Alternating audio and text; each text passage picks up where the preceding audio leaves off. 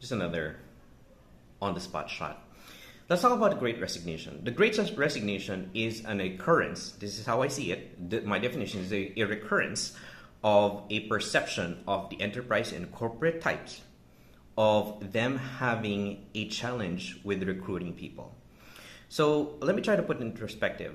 I think I've worked with different industries enough uh, to be able to make this type of content.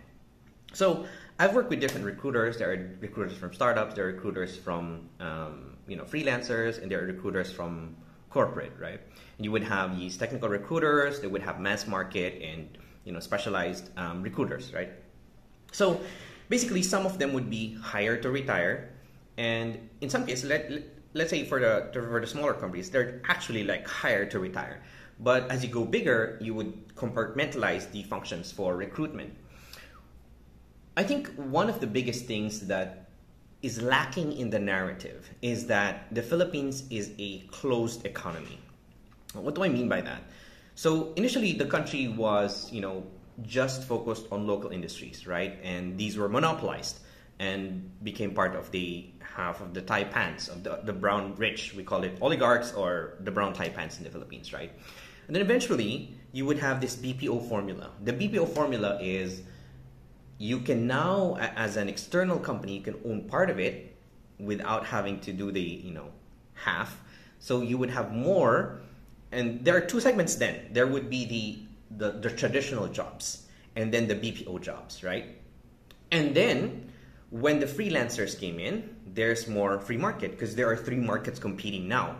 So when you say there is a um, great resignation. That only applies to an external factor, right? I, I, I, define it as that, the external factor where people try to outsource, but they're having to compete with the talent. And how that competition happens in the Philippines is very different. Because in the Philippines, we've been, been very protective of our oligarchs. They have to be richer to be compete with other com- countries, right? And you know, you want to have a ruling class within your country that absolutely should be defended from external threats. And it's good that you have the the Jollibee people that have went outside and the San Miguel's who have went outside and have started acquiring and they are now for, uh, are a force to be reckoned in the Philippines. But so whatever the case is, right? So this is the, the landfill. So when you're competing, um, I've had this experience where I remember there was this very very big corporate. There's a very big big four corporate company who tried to hire me, and I said, "This is what you're going to get from my talent." Um, and what you're paying for is actually the opportunity cost of my time because I can produce this much money, right? And uh, what happened was there was a comp and ben guy. So they have uh, talent acquisition, then there's the you know day one folks, and then of course the comp and ben guy. Didn't go to the day one guy, but the comp and get big comp and ben compensation benefit guy was trying to how much should I offer this guy, right? So he needed comparable to compare me with. The problem is his basis is very very shallow. It has to be only for these corporate types. The thing is, if you're going to be working with somebody like me who sees the strategy overall, that judgment, that decision making is worth more than what he was offering me. And long story short, the managing director came back to me and uh, she, she told me, like, oh, you know what? He got offended, right? And I said, I wasn't trying to be offensive. I told him the truth. But the truth was very salty for him, being competent men. And how this impacts the great resignation is because you would have TA, talent acquisition people, that have a very, very limited scope of who they should be hiring and what it looks like. So success in what talent looks like for them is very limited. Although this is known within the talent acquisition industry um, and HR industry, this is not actually addressed. So you can see this as an opportunity, right?